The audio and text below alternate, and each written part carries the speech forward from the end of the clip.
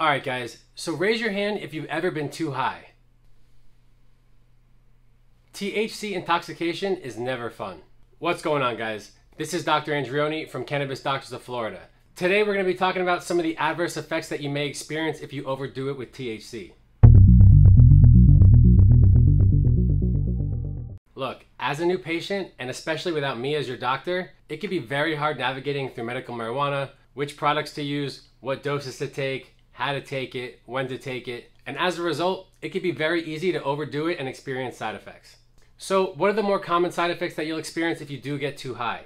Euphoria, dizziness, fatigue, dry mouth, red eye and dry eye, so pretty much drying of the mucosa, anxiety, nausea, cognitive deficits like short term memory impairment, uh, difficulty concentrating, headache, paranoia, and some less common side effects that you'll come across like blurred vision, tachycardia, orthostatic hypotension, it does decrease blood pressure, ataxia or discoordination, depression, even acute psychosis, and then more so on the long term side of things and in predisposed individuals, cannabis hyperemesis.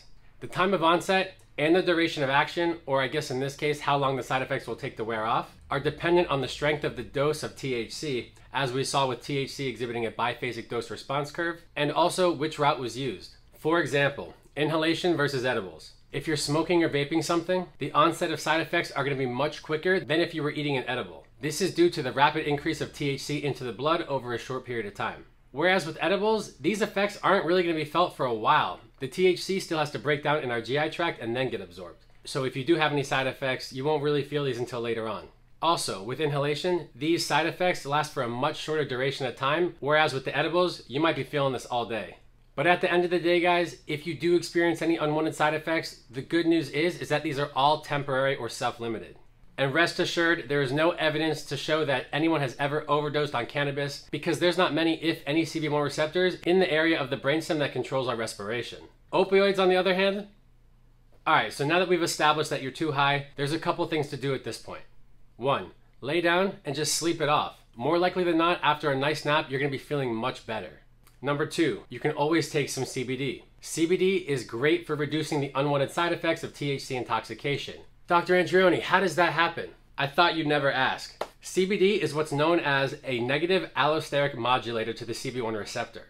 So normally what happens, THC will bind at the active site of the CB1 receptor and then we get the high. However, with CBD, CBD binds at another site called the allosteric site. Once it binds to this site, the CB1 receptor changes its shape and then kicks THC out. You'll need to take at least equal amounts of CBD for this to be effective though. And really, it reduces the high in like half the time rather than time just wearing it off on its own. And then lastly, you can always just chew on some peppercorn. Neil Young did tell Howard Stern on an interview one day that if you ever get too high or the paranoia that you get with smoking too much, just chew on some peppercorn.